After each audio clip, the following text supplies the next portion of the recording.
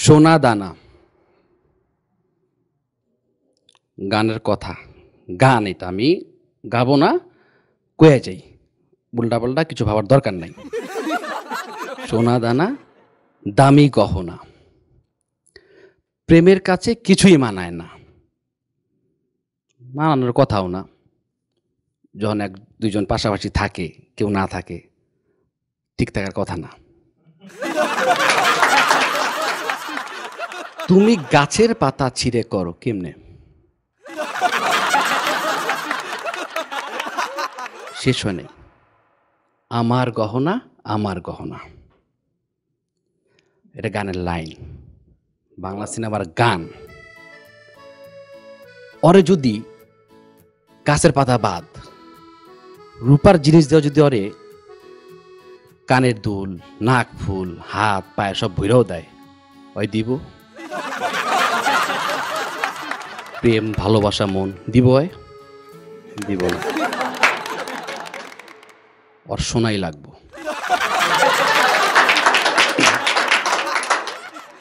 Gold diamond এগুলা কইছি। আবার অনেক সময় মায়েরা ডাকে আমাকে হাইদা প্রেমের লেগে ডাকে। প্রেমীয় প্রেমী। কাছে এলে তুমি বা দেখা দিলে তুমি। আমার মনের আশায় ভালোবাসা সত্যি হলো। হইছে। তোর হইছে। আমরা পোলারা বিসি। বোকা ছেলে। এর জন্যই তোকে কাছে গেছি। যাওয়ার দুই মাস পর আমরাই গান গাই। আমার মতো এত সুখী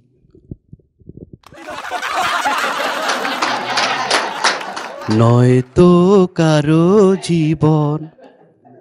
এ হচ্ছে আমগো জীবন। আর আমার রাজন ভাই জিগেছিল এপিসোডের আগে। গান শোনার পরে, ভাই, এপিসোড করবেন যে টপিক কি? আমি বলছি ইস লাভ প্রেম, ভালোবাসা গার্লফ্রেন্ড এগুলাই তো। কুয়েন না ভাই, আপনি যেমন কোন কথাবার্তা ডিরেক্ট ভাই, পরে এডিটে গিয়ে ভাই টুট টুট, বিপ বিপ লাগাইতে হয়। আমি বললাম, ভাই, দেখেন যারা বুঝার তোরা এমনি বুঝব। আপনি বিপ বিপ টুট লাগালে কি, না লাগালে কি? যেহেতু আমার টপিক প্রেম ভালোবাসা, তাহলে আপনাকে কষ্ট করে লাগায়েন না, আমি লাগাই দিতেছি। কয় ভাই, তাহলে কেমনে? আমি বললাম, কেমনে আর? জয় কুমু, তোর প্রেমের টুট টুট তোর ভালোবাসার বিপ বিপ। তাহলে তো। কয় ভাই কইছেন তো? আচ্ছা এখন আপনার যেহেতু আপনার রাজন কে? একটা চিজ। আছে অনেক গভীর জলের মাছ, বুঝতে দেয় না। হাসি মুখে খুন করে এই চিজ। তো যাই হোক, রাজন কথা জন উঠছে তো আমি মগবাজারের মোড়ে একবার আনারস খাইতেছি। দেখলাম আমি কইতে জানি দৌড়ে গামায় গমে অস্থির হয়ে গেছে আমার কাছে। আমি বললাম আমি আনারস খান। কয়, ভাই, খামো, কিন্তু তার আগে একটা জিনিস আমি ক্লিয়ার হওয়া দরকার। কি কোন? আচ্ছা ভাই যে দুধ খেয়ে আনারস খেলে কি বিষ হয়। তা আমি বললাম না, আমি তো ভাই দেহি নাই কখনো, ট্রাই করি নাই। কে, কি হয়েছে আপনি আনারস খাইতে তো পারেন এখন। কয় না ভাই, তাহলে আনারস খামো না। মাত্র গার্লফ্রেন্ড লোকে দেখা করে আইছি। তাকাইলাম এর দিকে। কি চিজ?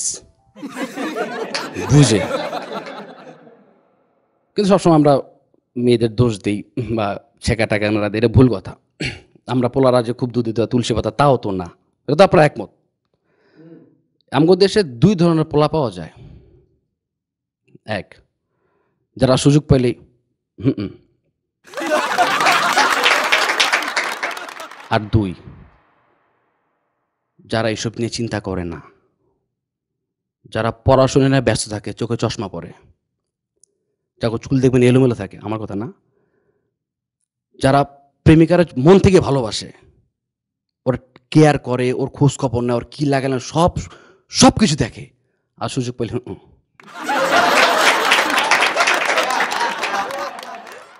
যাই হোক, সবাই আমাকে মনে দিক আমরা সবাই সমান। আমরা কেউ পাই কেউ পাই না। কিন্তু আমার লাইফে যেহেতু টপিকে হোয়াট ইজ লাভ প্রেম, ভালোবাসা, আমিও কারও একটা ভালোবাস পাশি আর কি। তো কোনোদিন বোকা হয় না সামনাসামনি যে তোমার আমি সত্যি ভালোবাসি, তোমার সত্যি ভালোবাসি। দেখলাম যে না, ওর না কোয়া পর্যন্ত আমি শান্তি পাইতাছি না। তো একদিন কলেজে যাইতাছে আমি একদম সামনে সামনে একদম চোখে চোখ রেখে ওরে কইতাছি যাই লাভ ইউ ম্যাডা কলো তুই আমার সাইজ জানোস জুতার। তখন আমি কইলাম, বাহ, প্রেমই শুরু করলাম না, এখনই গিফটটা শুরু করছিস তুই। কিন্তু একটা মেয়ে আমার সাইজের কথা কয়ে যাব আর আমি ছিলাম এটা সহ্য করুম। ইম্পসিবল মেয়েরা সামনে গেছে, আমি আবার দৌড়ে গেছি। এ মেয়া, তুই আমার সাইজ জানোস? দেখলাম মেয়েরা চেহারা অনেকটা চাকমা চাকমা। দেখলাম এত বড় চোখ, এত বড় বড় হয়ে গেছিল। মেয়েরা দেখলাম যে কোনো টেনশন নাই। নর্মালি কত? আমি বললাম, সাত। স্বাভাবিকভাবেই।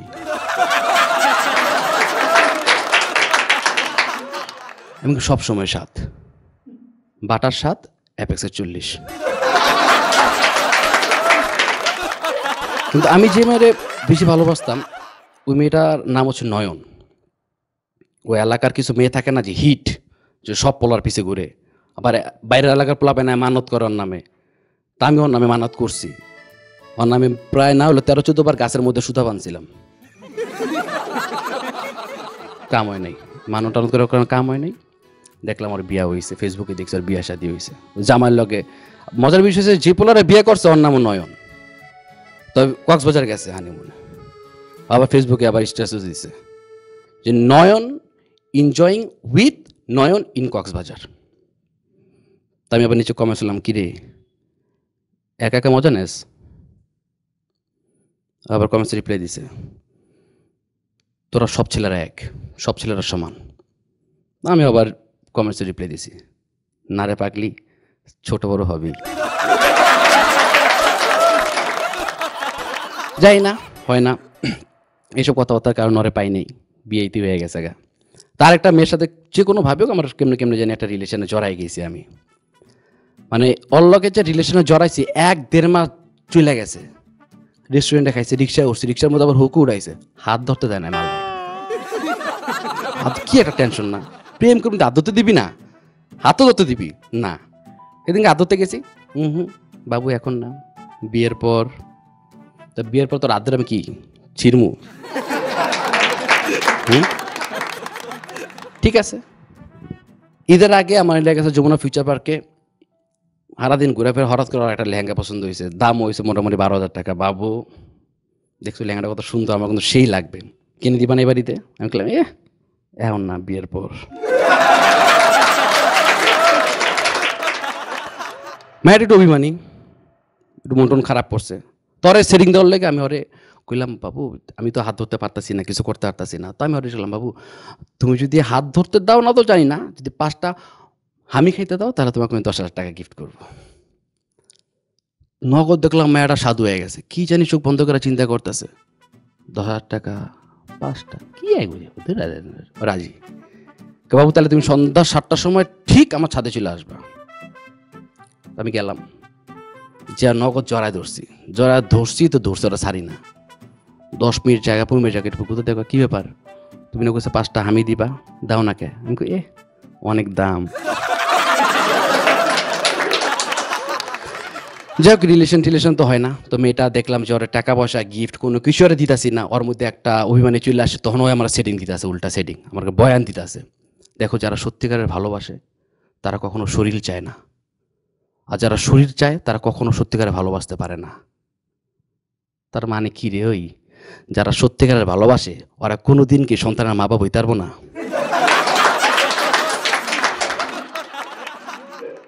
কারে উঠে রাখব? বইমের মধ্যে ডিব্বে আটকে রাখব।